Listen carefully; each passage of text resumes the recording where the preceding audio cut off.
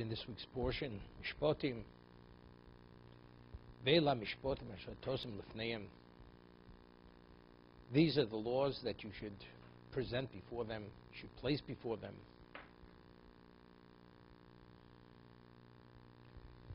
So over here, in Rashi, Lefneim, he cites the Gemara, which is also the Midrash. You should present the laws before them. That if person goes to a court, he should go to a Jewish court and not to a secular court.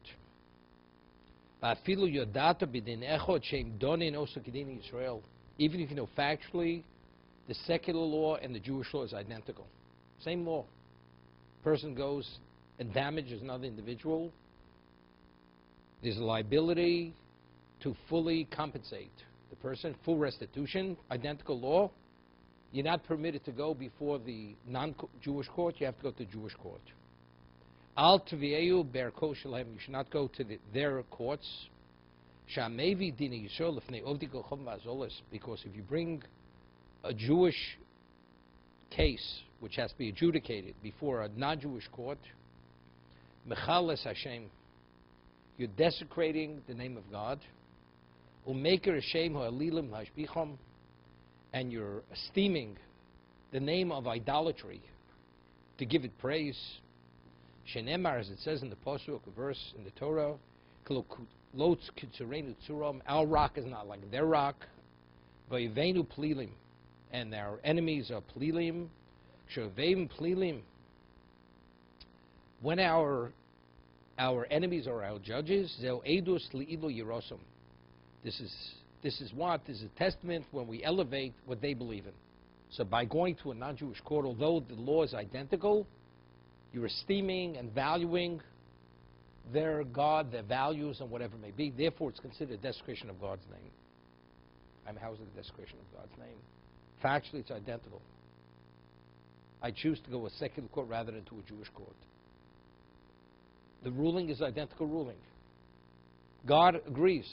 It's correct. This is justice. Not nothing more, nothing less. Why is it considered Chil Hashem? It's desecrating Hashem's name, God's name, and you're giving special esteem and value to what they believe in.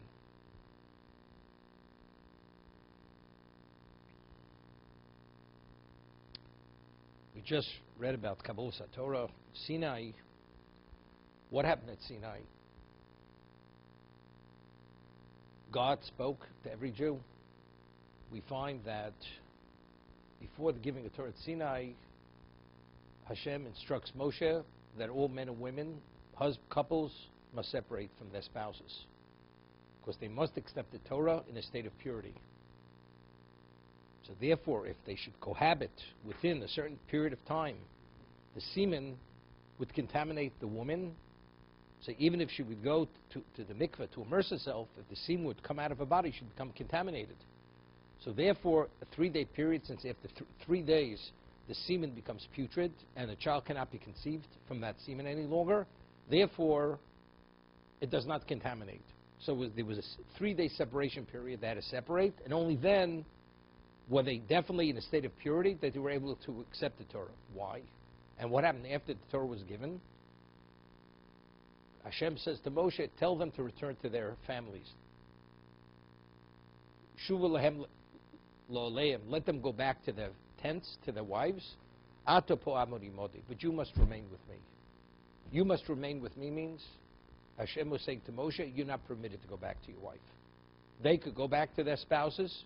You cannot go back to your spouse. Now, why, at the time of the giving of Torah, the Jews themselves had to be in the, the state of purity. For what reason? Now, at Sinai, what happened at Sinai? God communicated with every Jew. When Hashem presented the Aseret HaDibros, the Ten Commandments to us, this was the presence of every Jew that existed at that particular moment.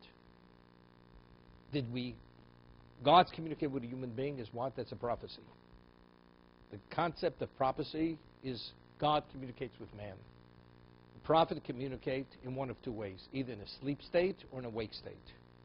The only Navi who ever prophesied in a wake state was Moshe Rabbeinu. That's referred to as ponim el ponim, face to face, in a wake state. Every other prophet is what? Is bachalom. It's in a sleep state. At Sinai, every Jew prophesied in a wake state. When you prophesize in the wake state, it's not only the communication is to the person's neshama, to his soul, rather his body, his physical faculties, and his physicality is involved in that communication. So if a person, his physicality is contaminated, he's not qualified for this communication because they had to be in a wake state. Ponim el ponim, adabirbom. I spoke to them face to face, to every Jew. Now, why did God have to speak to every Jew face to face? For what reason? So the Sforno explains in last week's reading that the whole concept that God, that a human being is able to prophesy in the state, in a wake state, it's something which is so alien.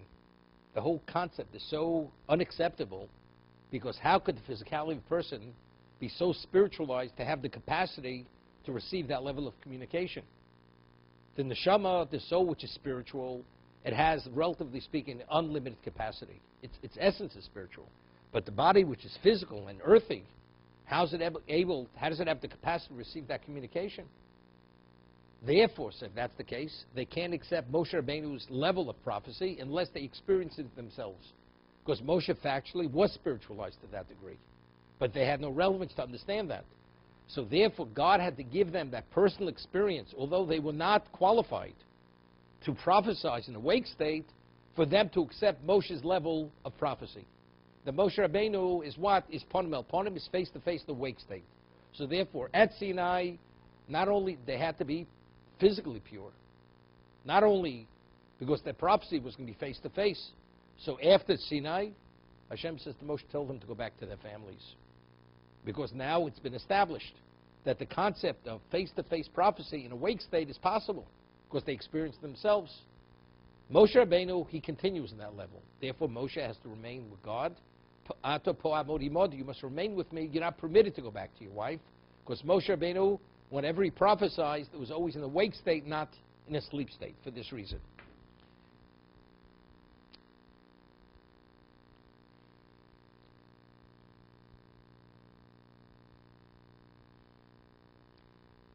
What is the basis for the, for the authenticity and the immutability of Torah?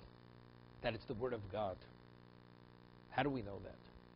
So the Rambam writes in the laws of Yesodi Torah, these are the fundamentals of Torah, that when the Jews stood at Sinai, they witnessed Hashem speaking to Moshe openly. So it's not something which it came through testimony or it's hearsay, but rather we each Jew at Sinai witnessed this himself. Fully awake in a prophetic state, we openly heard God speaking to Moshe. So how do we know Moshe is God's spokesman? Because we see, we experienced firsthand, each one of us, in a wake state, how God chose Moshe to be a spokesman. As we heard him say, Moshe, go tell them such and such. Once that's been established, although we didn't hear everything, but if God openly chose him to be a spokesman, Moshe is the credible spokesman of HaKadosh Baruch Hu, of God. Therefore, what does Hashem say after Sinai? From now going forth, they will believe you for, forever that you are, that your word is the word of God. When you speak in my name, your word is the word of God. Because God, Hashem, openly, in our presence, in a wake state, witnessed how Hashem was speaking to Moshe. Go tell them such and such. So Hashem chose Moshe to be a spokesman. Moshe is the chosen spokesman of Hashem. So now when Moshe speaks in the name of Hashem, He's a credible spokesman of Hashem. That's how we know. So therefore, every word of the Torah, when we speak about it's Torah Torah's Moshe, is, is Torah's Hashem. When we find that Korach and his community, they attempted to usurp the authority of Moshe, and what did they claim? That it's something which he created himself. It wasn't the word of God. And then the earth opened up and swallowed the community into the ground.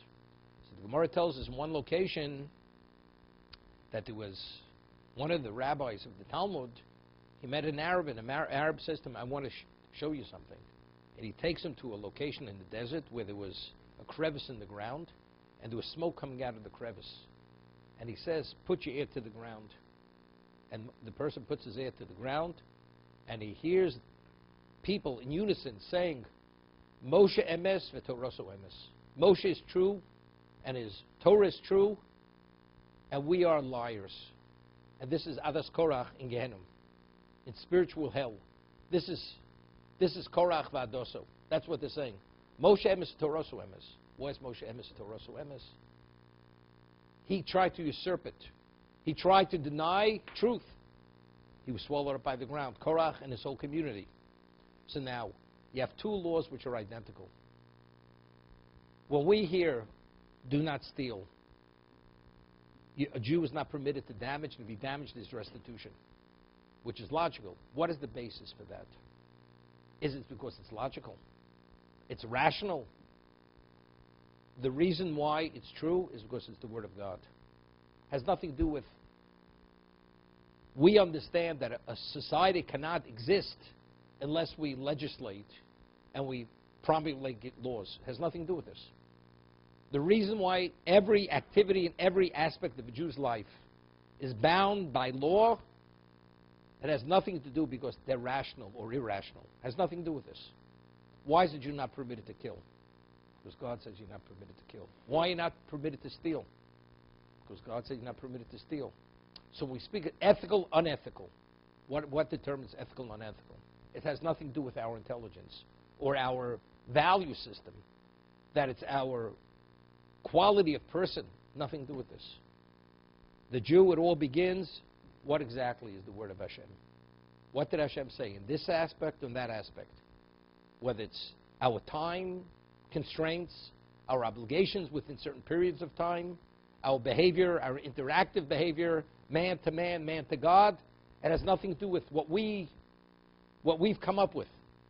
But rather everything is bound by the dictates and the parameters which Hashem set at Sinai for the Jew to function.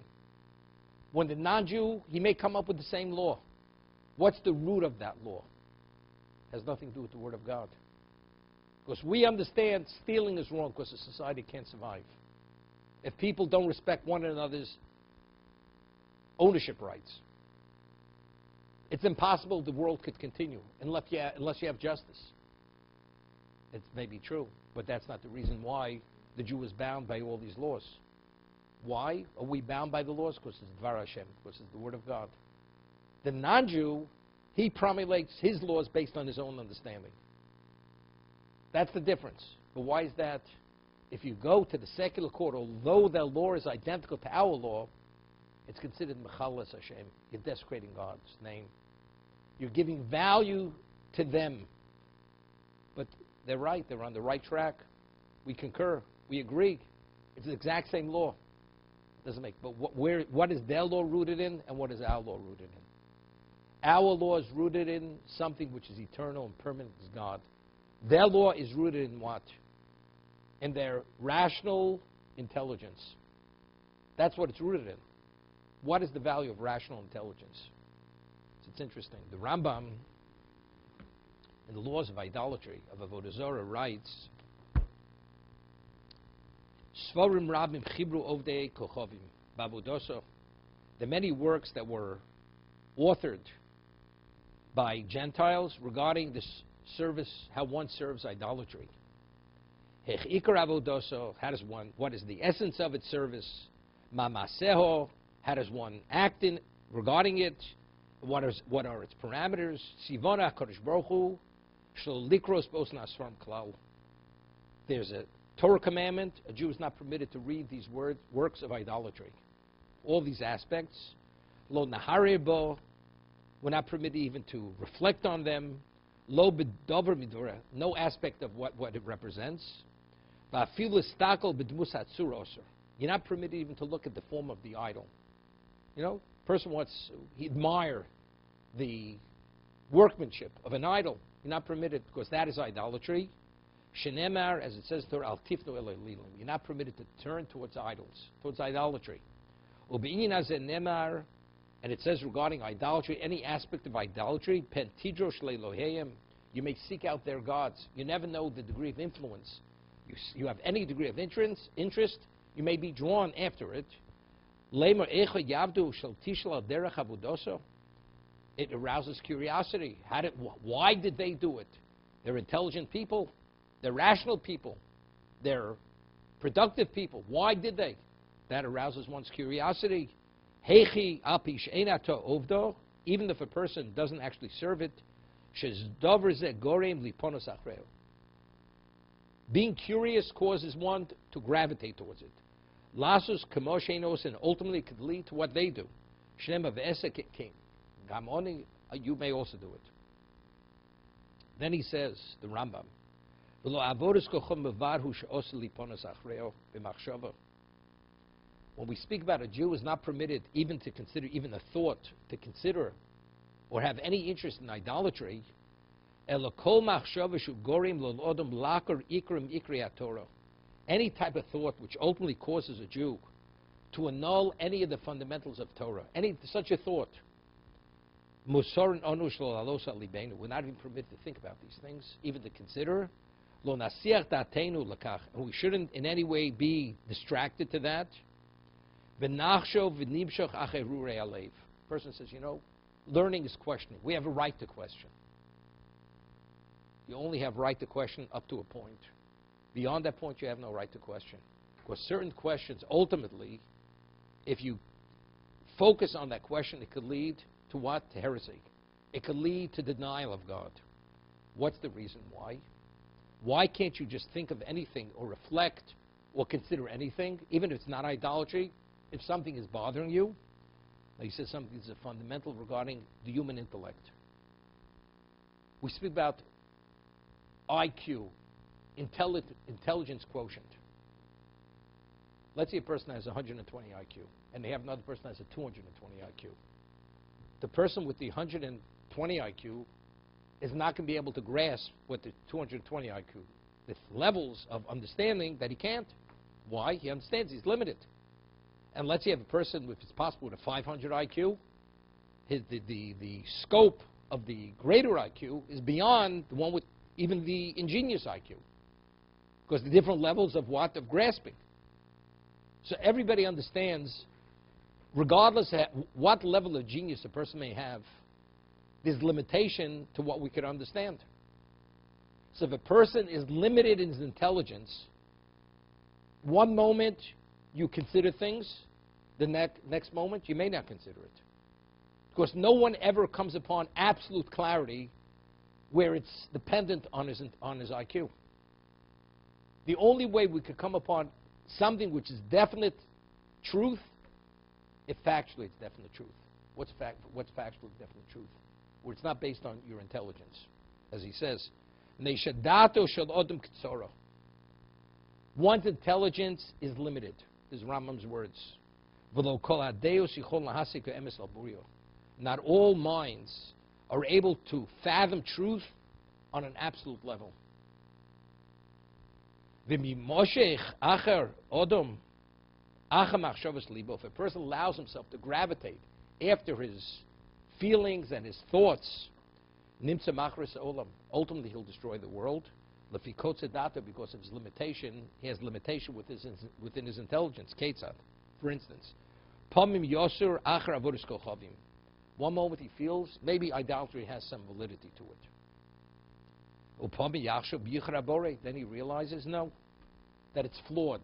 It's flawed. And therefore he considers only there's only the unity of God. Shemahu Shema Eno.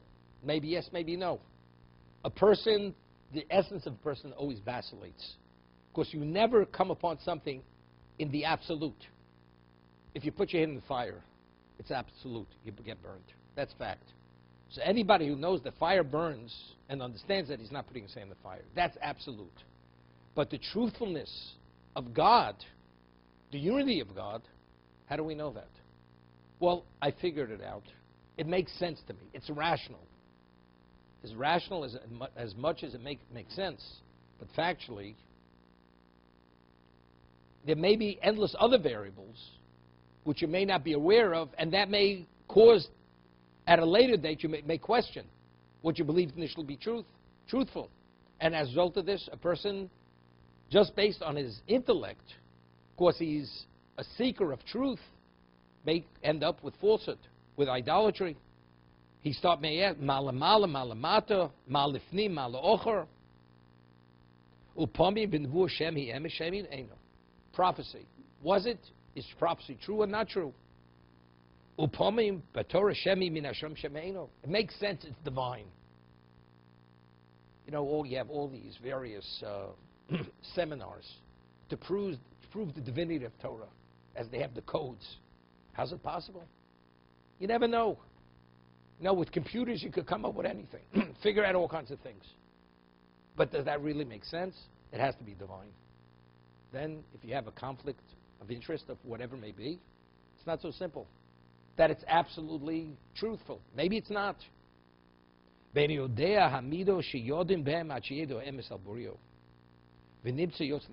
Ultimately, where does it lead to? It leads to heresy.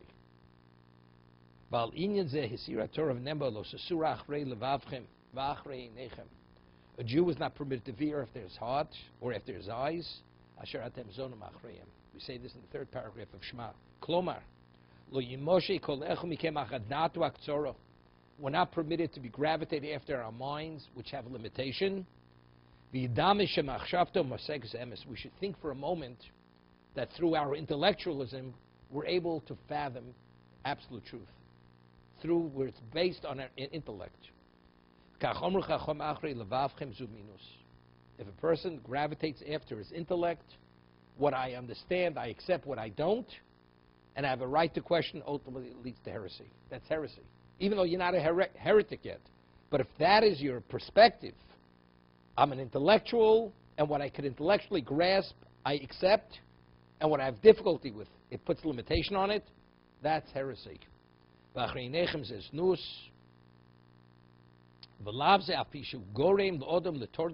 Although this negative commandment causes a person to be literally removed from existence, from the world to come, he forfeits his world to come. Nevertheless, he's not subject to the corporal punishment.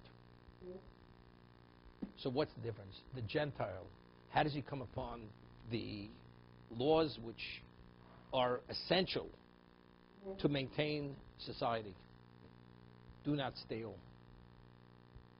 Damaging respecting one's property rights. All these laws, they promulgate, they legislate these laws. But what, what are they rooted in? Are they rooted in truth? Or are they rooted in rational human thinking? That's intellect. That's For the non-Jew, it's good enough. For the Jew, what is the basis for his, for his code of behavior? Absolute truth we prophesy, we were openly, God allowed us to openly prophesy in the wake state to witness Moshe being God's spokesman. That every word of Moshe is the word of Hashem. So what is the basis for the authenticity of Torah? We, it has nothing with our intellect. We witness firsthand in a wake state, this is something which is irrefutable under any circumstance, that Moshe is God's spokesman. Every word of Moshe is what? Is emes. Moshe emes, Torah emes. And we are badoim. We are liars. That's korach vadoso. So therefore, when you go to the non-Jewish court, what are you giving value to? It, but it's the same law. It's a chil Hashem. Because what you're giving up to go there, you're acknowledging what the human intellect. What the human intellect has nothing to do with the truthful, truthfulness of Torah. Nothing. That's firstly. Secondly, you're esteeming what they represent. What do they represent? You're giving value to rational thinking, because that's the basis for the law. Because you can go to a Jewish court. Well, it's, it's the same thing. It's not the same thing. It's a total different level of representation. The Jewish court represents divine, irrefutable, immutable, the word of Hashem. What the secular court has nothing to the word of God. Sometimes they come upon truth, sometimes they don't. But what is the basis for the truth? It's their own intellect. Why did Adam Rishon, even though he knew what the word of Hashem was, why did he eat of the Eitz of Das? God says, don't eat of the tree of knowledge. The moment you eat of the tree of knowledge, you'll be subject to death. Somehow he rationalized. He ate of the tree of knowledge. He ate. So the Gemara tells us in Sanhedrin, when he ate of the tree of knowledge, he became a heretic. What do you mean he became a heretic? A person with that level of absolute clarity. God openly, he was, in the, he was, he was in the Garden of Eden. This is pre-sin. He was told, do not eat of the tree of knowledge. So how do you ignore the word of God? For that moment, God can't exist. Because if God could, it does exist, and you're in Gan Eden, the Garden of Eden, how do you eat? A person has the ability to block God out of his uh, out of his mind, out of his life, as if God doesn't exist. So therefore, the Gemara says, the Talmud tells us in Sanhedrin, at that moment, minhoyo, he was a heretic. Because otherwise he couldn't have eaten of the tree of knowledge.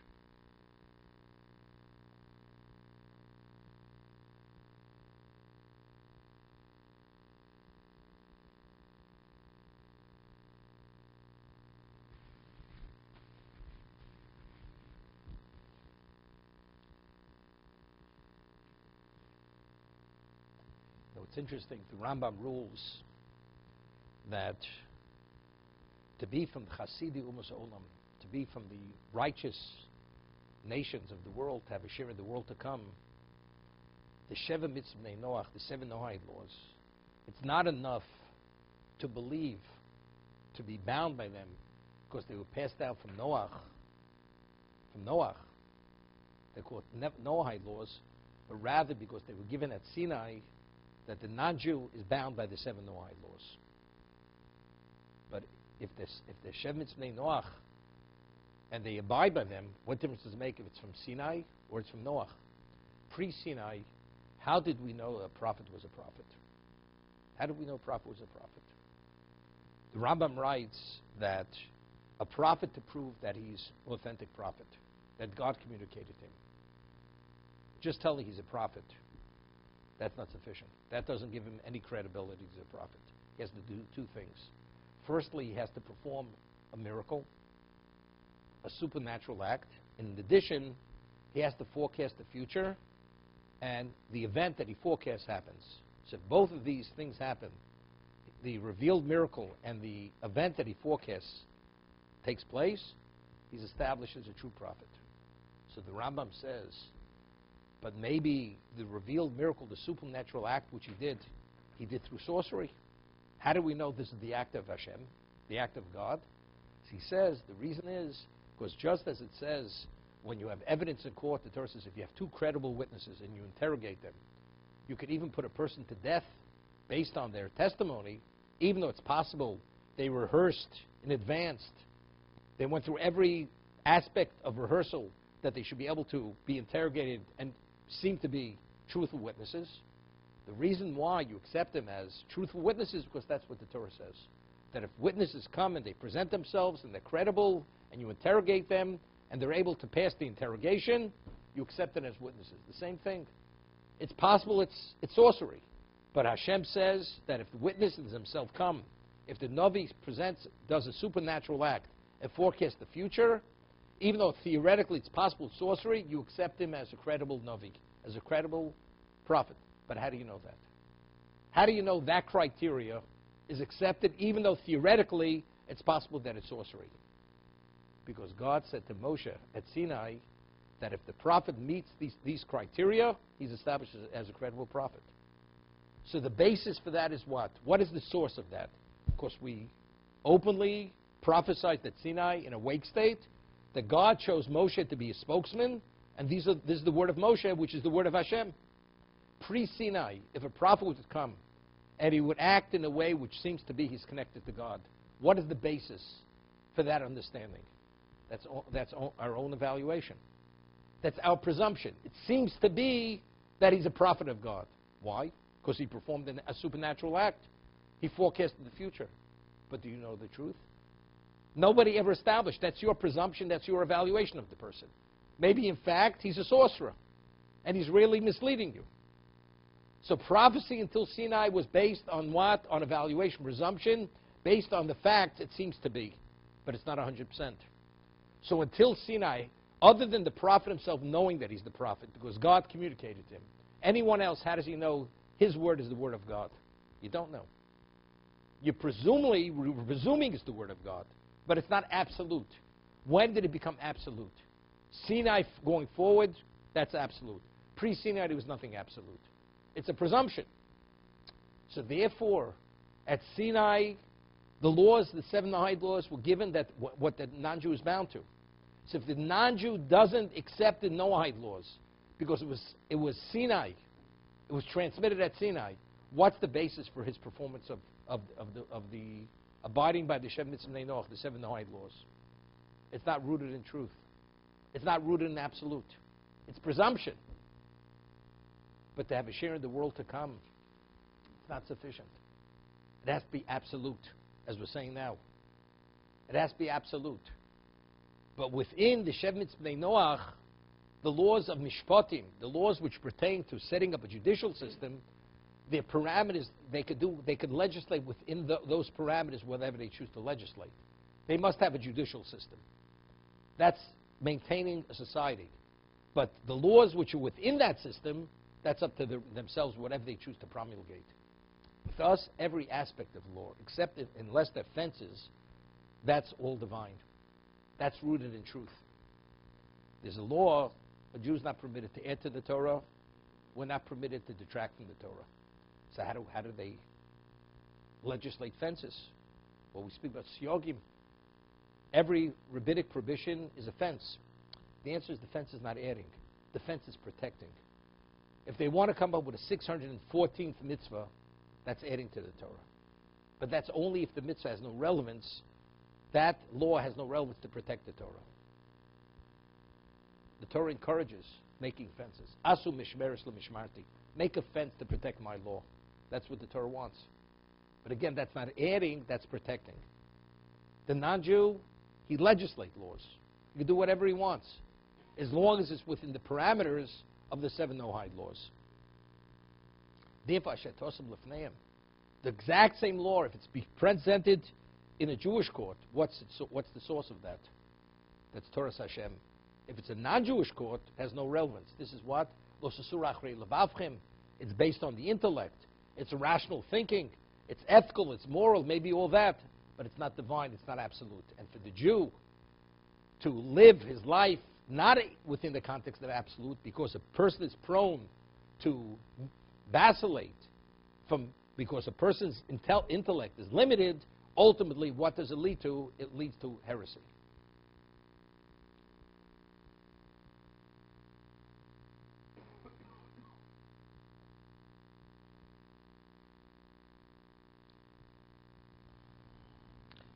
Over here, the Baal HaTurim,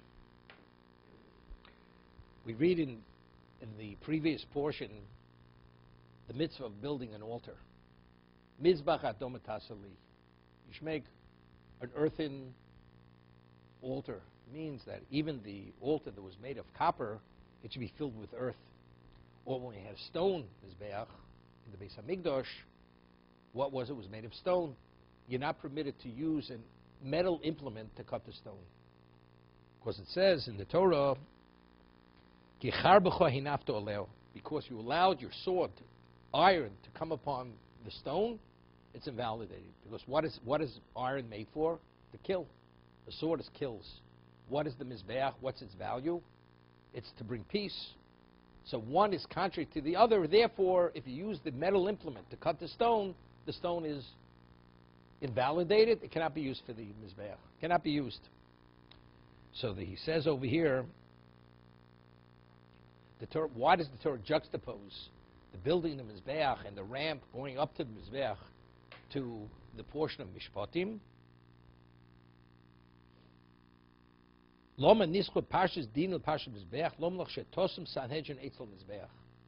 That what was the location of the Sanhedrin, the High Court of Israel, what we call Sanhedrin Gedola? It was adjacent to the sanctuary.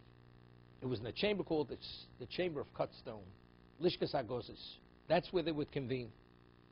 That is the value of the juxtaposition of Elam Mishpatim the judicial system, the High Court of Israel, should be situated alongside the Mizbeach.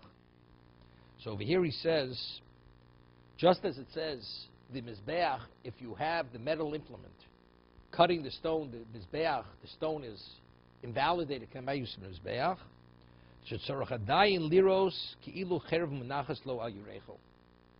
The Gemara tells us in Sanhedrin,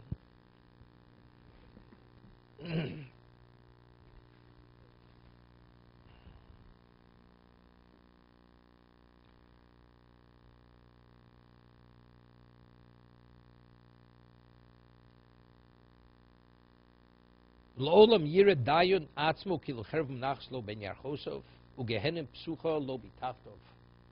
A judge, when he sits in judgment, he has to see, visualize himself as if there's a, a sword, a sharp sword between his thighs, and as if Gehenna is open beneath him. What happens if he deviates? He moves as much as an he's cut in half by the sword. When a person judges, passes judgment, he has to have such a level of absolute clarity that he will not render that judgment unless he's certain that it, it abides and it's fully credible. So only when he understands that his life is at risk, not only his physical life, but even his spiritual life, only then will he what? Will he render that correct judgment. That's the seriousness he has to understand of the consequence of doing the wrong judgment, rendering the wrong. He says over here, Omrav Shmuel bar Nachmani Omrav Yon's called Dain Shadon Emes Lamito, a judge who renders a, a judgment which is truthful, ultimately truthful, Masha Shechina. He causes the divine presence to dwell among Jews. Shenemar, as it says in the verse in the Pasuk, Elokim Nitza Badaskel. God stands, establishes himself in the congregation of Kale, Ve'kerev Elokim Yishbot.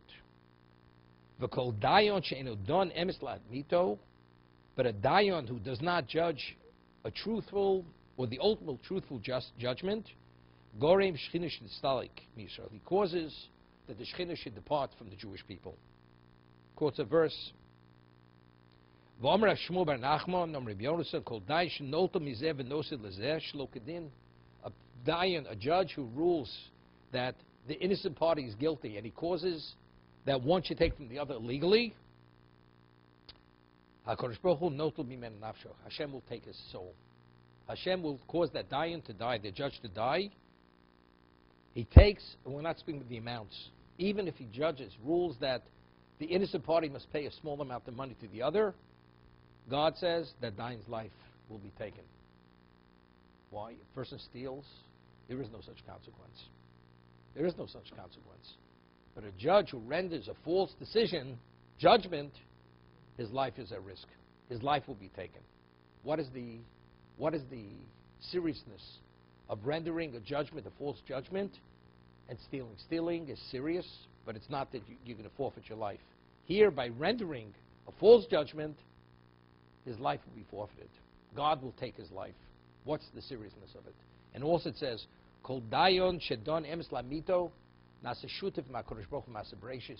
The Gemara tells us that a person renders a truthful judgment, he becomes God's partner in creation. God says, You're my partner in creation. But uh, if not, I will take your life.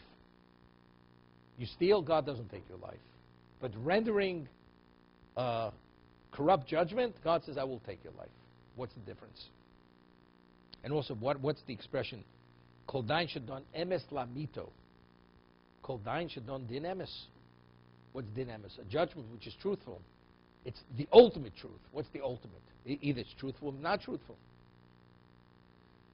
So regarding the expression emes lamito, it has to be the ultimate truth. So there's, Tosa says in Shabbos that the Gemara tells us in one location, Shurs, let's say the evidence comes before the court and the defense, each one presents his case, and they meet all the criteria which, which would establish that we're ready to give a ruling. But after everything is processed and after all the interrogations, the judge has a sense there's something not right here. There's something which is not 100% right. He can't put his finger on it. The witnesses passed the interrogation, but there's something, and he can't put his finger on it. The judge has to remove himself from the case. But it's emes. It meets all the criteria of truth, but the judge has a sense there's something not right. It's emes, but it's not emes lamito. That's called din meruma. It seems to be there's something not 100% straight here. So if he disqualifies himself, then that, so the only time he'll render a judgment if it's absolute truth, where he has no questions in his mind that this is really truthful. Only then does God consider you his partner in creation. Now, why is his partner in creation? So there's a midrash in this week's in this week's parsha. The midrash tells us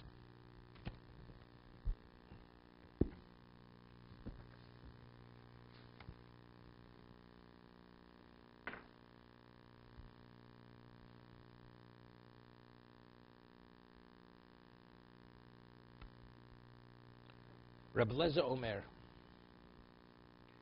Im yesh din lamaton, if there's justice on the terrestrial level, ain't din lamalon, then there's no divine justice.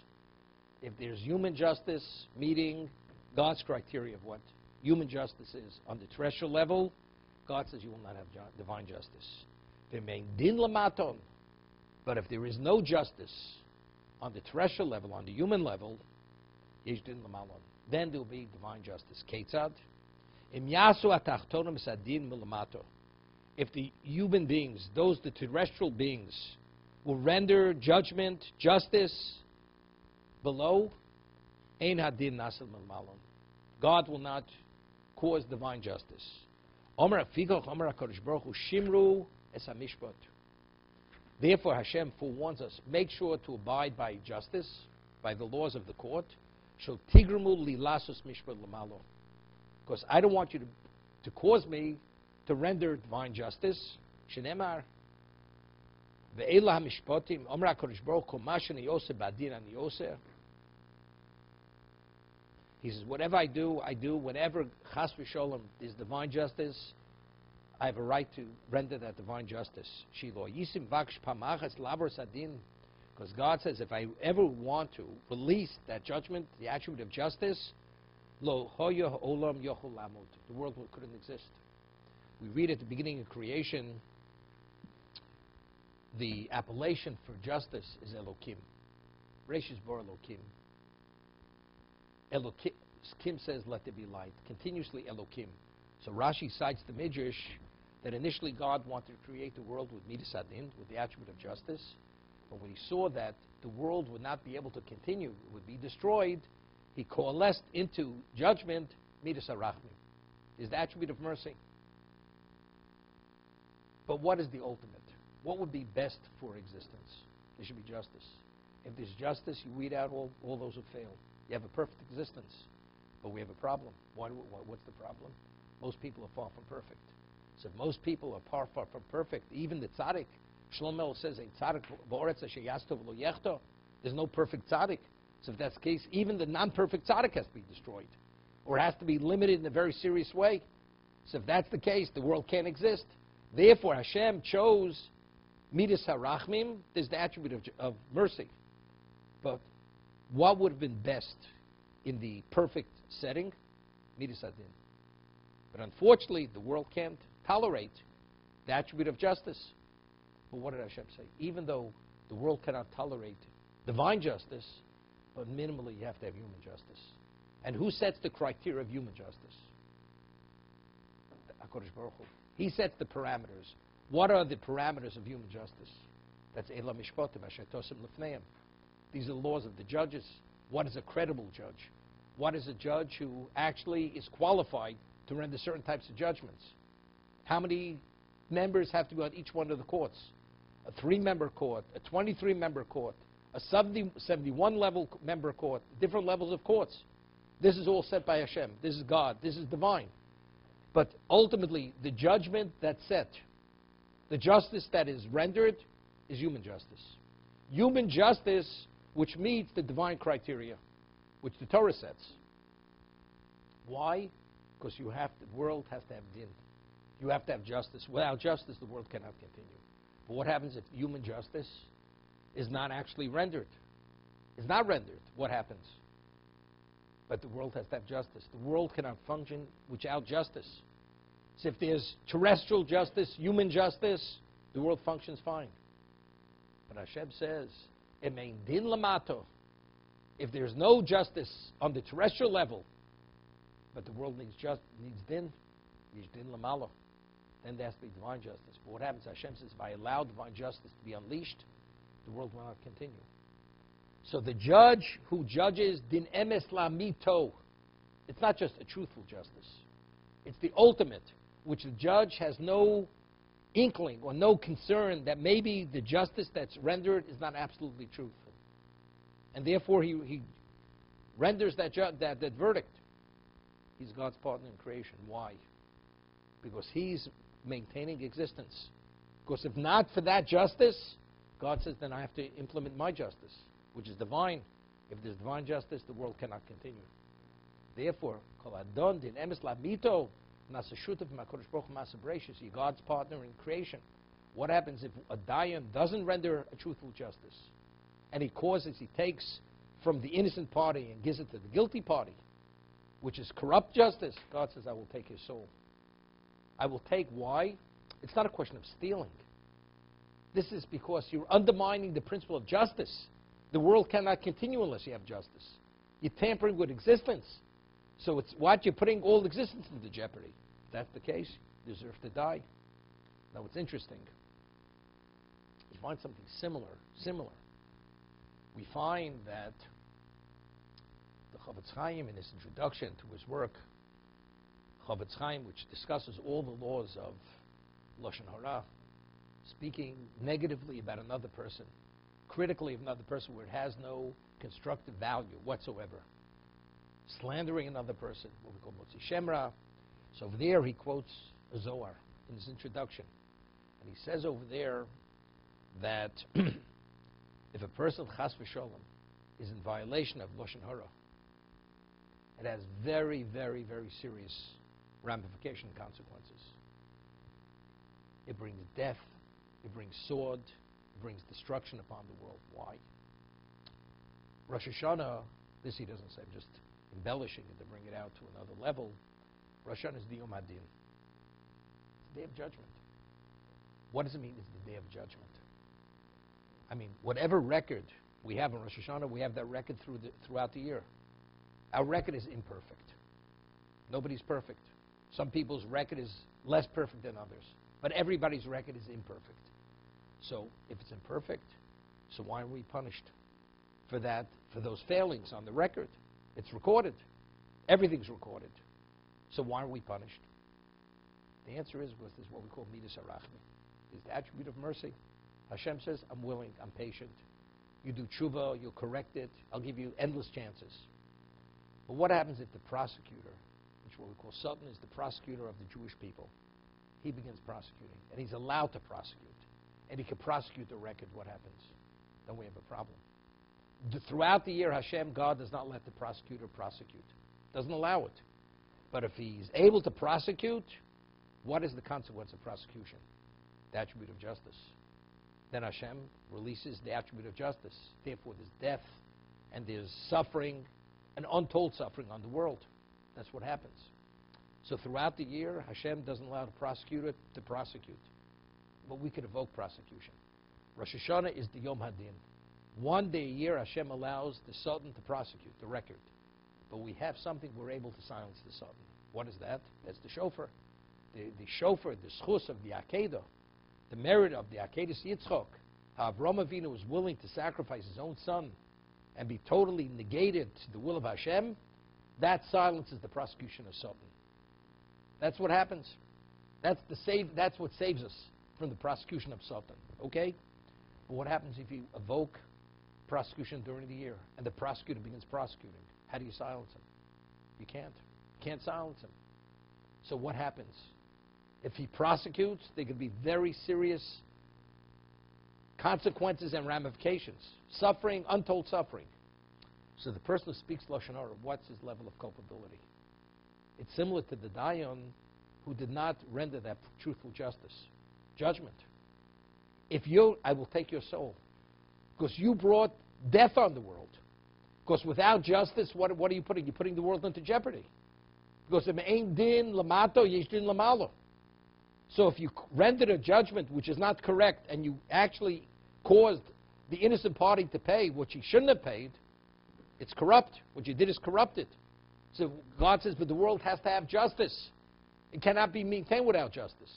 And if there's no terrestrial justice, human justice, then there has to be divine justice. We find that HaKadosh Baruch Hu destroyed Sodom and Amorah. You know what? You know what?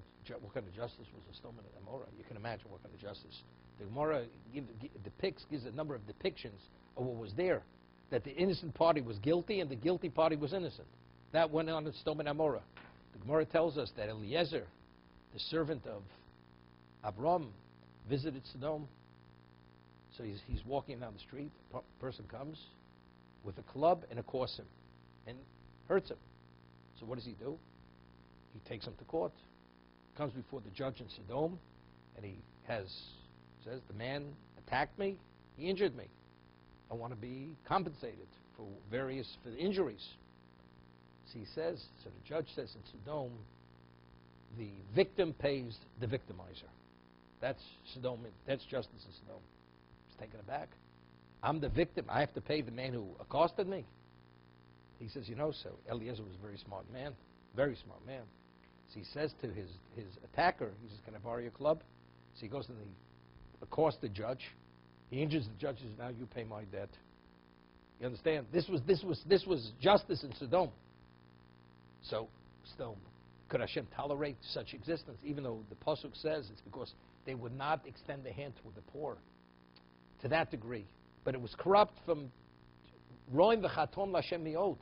They sinned against man and God to a great degree. They recognized their maker and they defied him. It's as if, as if you don't exist.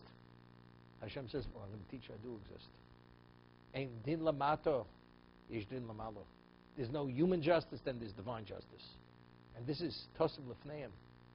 You have to have equitable, truthful justice. And if not, so therefore the judge, who is that equitable, truthful judge, what is he doing? Because of his integrity and his proficiency and his dimension of person, he's guaranteeing existence should exist. Therefore, the Gemara says this man is God's partner in creation. That's the reason why he's God's partner in creation. The Torah, you would think, there's a Ramban here. We speak about Elam Mishpatim, and we speak about a person being sold into slavery for stealing. You would think after Sinai, there's nothing, an, a, a, another law we couldn't discuss.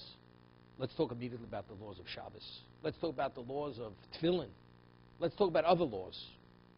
The laws of, of charity. If a person should steal, here we're coming off a level of Nasav Nishma. The Jews reached a level of the pinnacle in spirituality, and all of a sudden we start speaking about kissing the Eved Ivri, a person who purchases a Jewish, a Hebrew slave who stole, and because he couldn't compensate the person he had stolen from, he has to be sold for his value into slavery. Why is that the first thing after Sinai? That's the first law that the Torah addresses. Why? So Ramban explains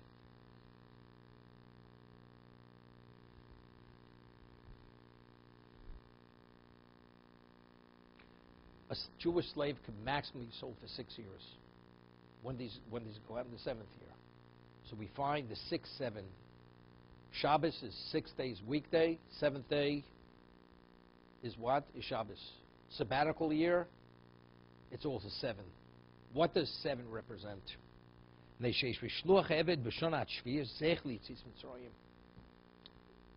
The first of the Aseres HaDibros of the first Ten Commandments. Right? This is a fundamental belief. God took us out of Egypt.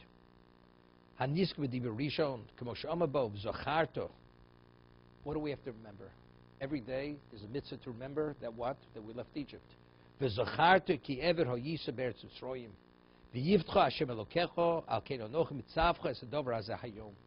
Jew has an obligation to remember that he was a slave in Egypt and God redeemed us from Egypt. So the whole idea of six days, six years a slave, the seventh year now you're being redeemed. You're being freed. You're being emancipated. So first you have two things. You have being redeemed from Egypt. You've been a slave and now you're redeemed. That's what the slave represents. The redemption, not it's not the six seven. Right, six days week, weekday, six days you work, the seventh day, we don't do work.